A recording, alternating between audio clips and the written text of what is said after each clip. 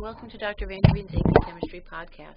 Today we're talking about the strengths of covalent bonds. Now, as you know, covalent bonds are bonds that form when two atoms share electrons between them. I'd like to talk about bond enthalpy. That'll be the major focus of this podcast. When we talk about bond enthalpy, we're talking about the amount of energy required to break a particular bond in one mole of a gaseous substance.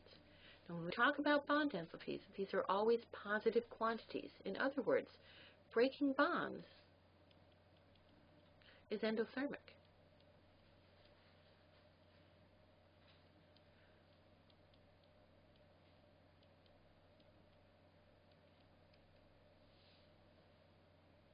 It takes energy to break a bond. Typically, these bond enthalpies are presented as average values, where they look at the bonds that are present in a whole bunch of different molecules, and they can they take the average from all those different situations. All right. The other thing that I wanted to point out is the relationship between bond enthalpy and bond strength. The higher the bond enthalpy, the greater this value, the stronger the bond. If, it, if you have a very large amount of energy required to break a bond, it's because that bond is very strong. Now bond enthalpies can be very useful because we can use them to estimate the enthalpy change for a chemical process. For example, you can predict as a very quick back of the envelope type of calculation, you can predict, predict if a particular reaction is exothermic or endothermic. You can actually go, go get better estimations as to the enthalpy change of the reaction, and that's what I'd like to do right now. In order to do this, what we do is we take the sum of all the bonds that have to be broken, and we sum up all the bonds that are formed. And this, the difference of these two, so we'll take the difference, gives us the overall enthalpy of reaction, or a uh, pretty close answer. Even if it's not exactly the same as other thermodynamic data, it's close enough that we can use it. Now, in order to do problems like this, you do need to have access to a table of average bond enthalpies. In the Brown-Lemain Bursten textbook that I'm using, it's on page 330. If you're using another AP textbook or college level textbook, it should also be present in your bonding chapter. You can't do this information without the table being given to you. So using, in our textbook, table 8.4,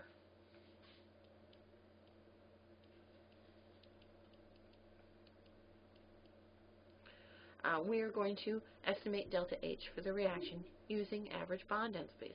Now let's start by looking at our reactants because we're going to be breaking bonds in the reactants.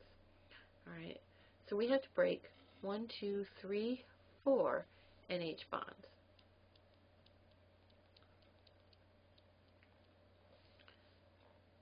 And we have to break one NN single bond.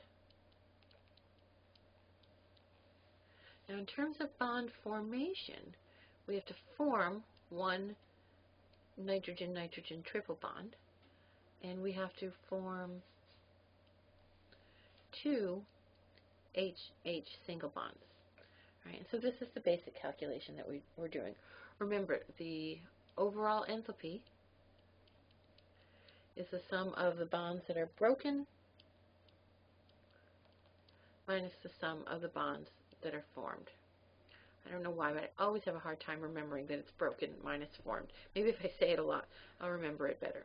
But we can, at this point, go to table 8.4, or the equivalent, and get the data that we need.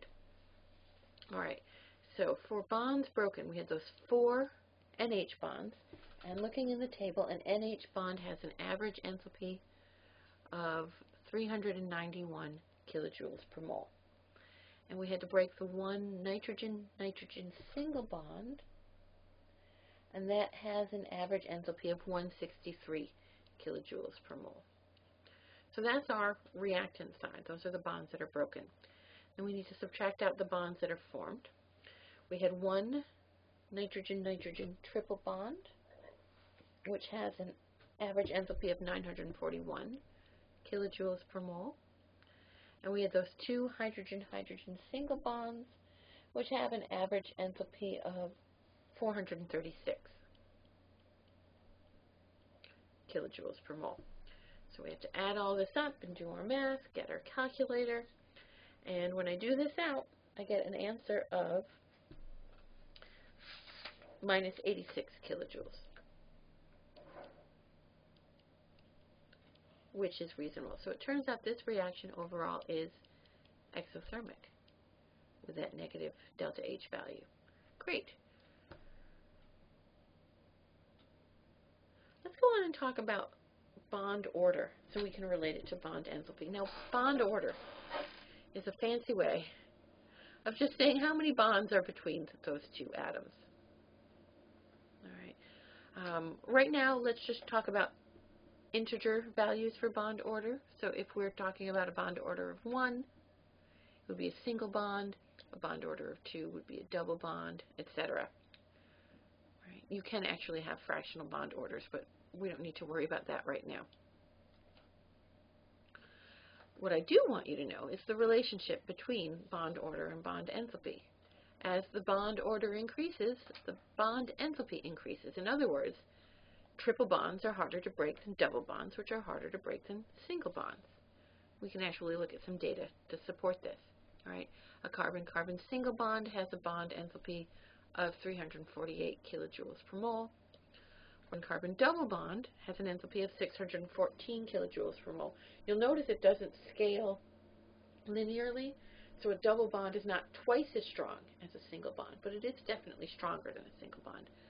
And a carbon-carbon triple bond has an enthalpy, a bond enthalpy of 839 kilojoules per mole. So as the bond order goes from 1 to 2 to 3, the bond enthalpy also increases. The other relationship that you need to know relates bond order with bond length.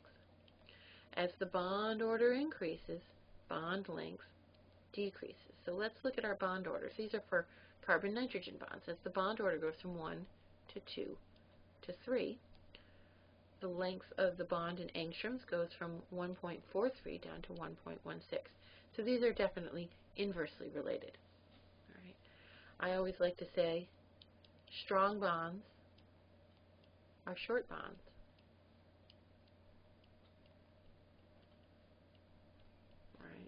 Because if they're strong, they have a high enthalpy of uh, high bond enthalpy, but they also tend to be pretty short. All right, just as a final problem, so we can wrap this up, let's place the species below in order of shortest to longest nitrogen to nitrogen bond. We should probably draw some Lewis structures here. Now for N2, this is a triply bonded substance. Right.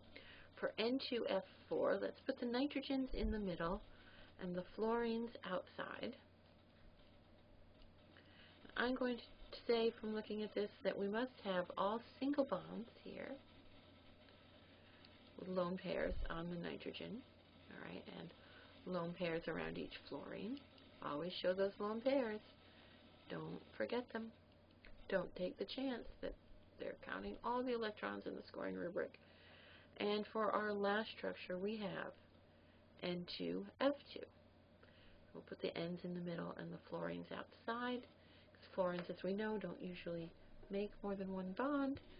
And for this, we must end up with double bonds on the nitrogen, single bonds to the fluorine, lone pairs on each nitrogen, and to fulfill our octet rule, nitrogen uh, lone pairs also around the fluorines.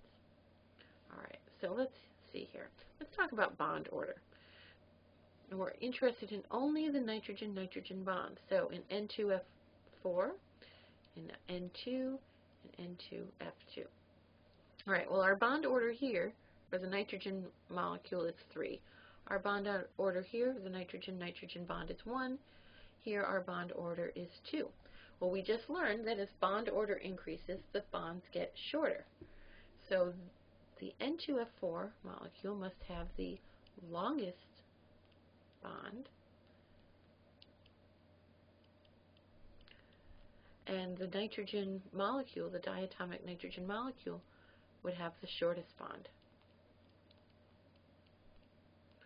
Alright. But the nitrogen molecule would have the highest bond enthalpy. The question didn't ask about that, but we can do it anyway. And the N2F4 would have the lowest bond enthalpy. We'll talk another time. See you later.